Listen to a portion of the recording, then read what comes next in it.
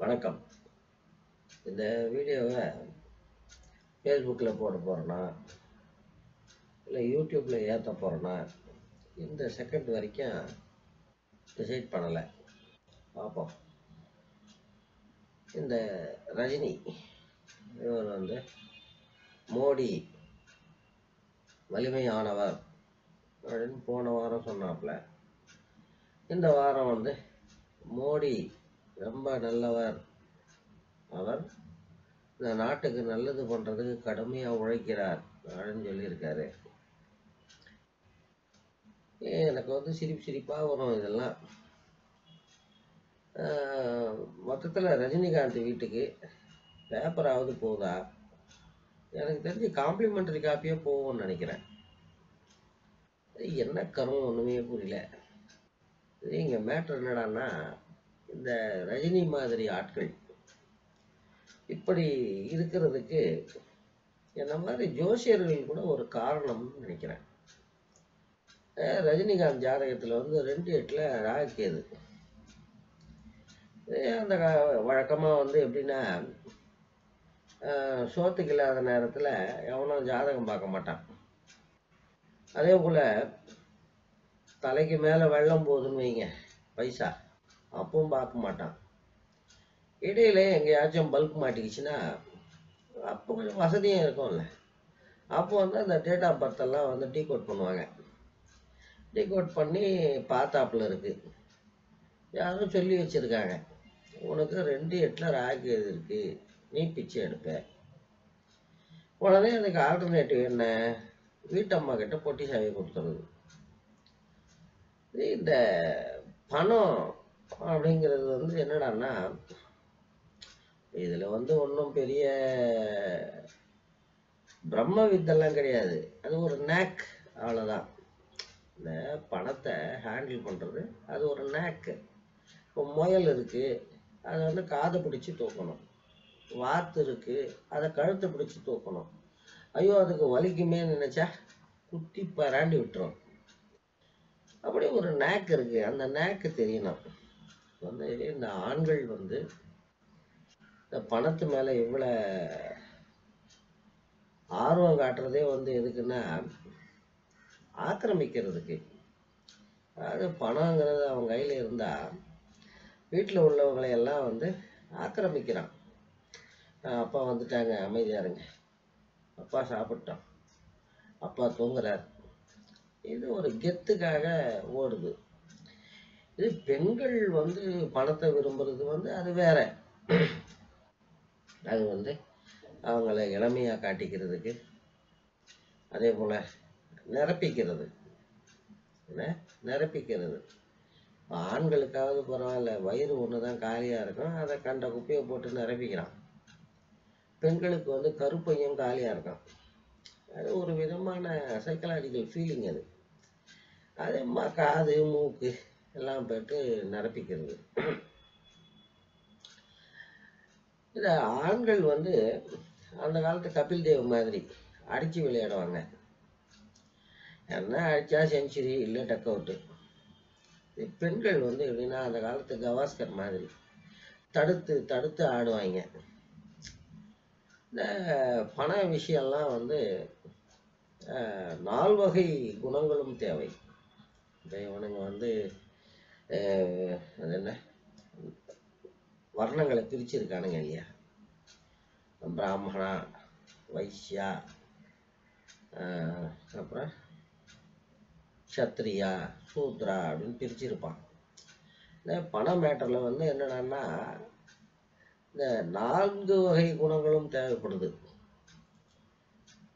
நம்ம பிரம்மங்கார் பா பிரம்மங்கார் கூட எழுதி வச்சிருக்காரு. அவனுடைய பிறப்பை வைத்து வர்ணம் கிடையாது. அவனுடைய குணத்தை வைத்து தான் வரணும்னு ஆனால் பணத்தை ஹேண்டில் பண்ணுறதுக்கு நான்கு வகையான குணங்களும் தேவை. நான் வந்து அனுபவத்தில் சொல்கிறேன் அவ்வளோதான் இதே இந்த பணம் கையிருப்பு கடன் கமிட்மெண்ட்டு அதை பொறுத்து கேரக்டர் மாறணும். இந்த கையிருப்பு கடன் கமிட்மெண்ட்டுக்கும் அந்த குணத்துக்கும் சம்மந்தம் இல்லைன்னு வைங்க. மொக்கையாக போயிடும் இதெல்லாம் இது ஒரு பெரிய சயின்ஸ் இது பணத்தை ஹேண்டில் பண்ணுறது இந்த ஆற்றுக்காருக்கு நேரம் சரியில்லைன்னு பொட்டி சாவியை வாங்கி வச்சுக்கிட்டு சும்மா இருக்கணும். அதை விட்டு போட்டு அது என்ன கருமோ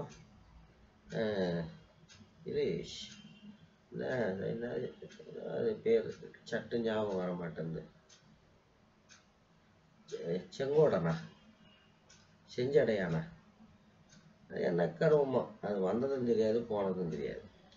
அங்கே மாட்டின கொக்கி இது. அங்கேருந்து அதில் வந்த நஷ்டத்தை பேலன்ஸ் பண்ணுறதுக்கு இன்னொன்று பண்ணி அதை பேலன்ஸ் பண்ணுறதுக்கு இன்னொன்று பண்ணி இப்போ கடைசியில் வந்து ரஜினிகாந்த் நிலமை அங்கேருந்து ஏதோ பேக்கேஜ் வருதுன்னு இவர் ஏதோ கூட்டமெல்லாம் போட்டார். ஒரு வருஷம் ஆயிடுச்சு அங்கேருந்து பேக்கேஜ் மணி வரல இன்னும். அதனால் வந்து வரிசையாக படங்கள் கம்மிட் ஆகிட்டார் சரி இதை பார்த்து அந்த பக்கம் இவருடைய டிமாண்டை கொஞ்சம் அதிகரிச்சாப்புல இருக்கு.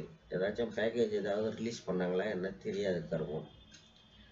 ஏன் நான் என்ன சொல்கிறேன்னா ஒருத்தன் தலையில் பிச்சை எடுக்கணும் அப்படின்னு எழுதி வச்சுருந்தா பிச்சை எடுத்து தான் ஆகணும். அது பிச்சை எடுக்கிறத வந்து டிஃப்ரெண்ட்டாக பண்ணலாம். இப்போ வந்து இந்த பக்கம் அது வருஷம் ஞாபகம் இல்லை. சரித்திரத்தில் அந்த மாதிரி வந்தது கிடையாது. அது மாதிரி ஒரு புயல் அடித்து ஸ்டேட்டே நாசமாக போயிடுச்சு அப்போ என்டிஆர் வந்து ஓப்பன் லாரியில் ஏறிக்கிட்டு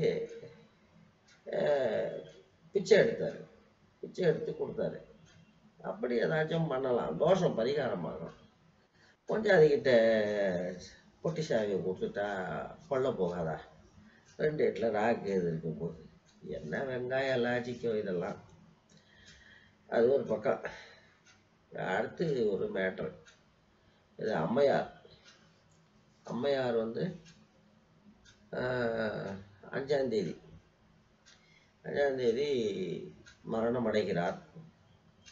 இப்போ வர செய்தியெல்லாம் பார்த்தா இதயம் முழுமையாக நின்றுவிட்ட பிறகு அந்த எக்மோ கருவி பொருத்தப்பட்டது அப்படின்னு ஒரு நியூஸை சொல்கிறாங்க ஏய், என்ன ஒன்றுமே புரிய மாட்டேங்குது.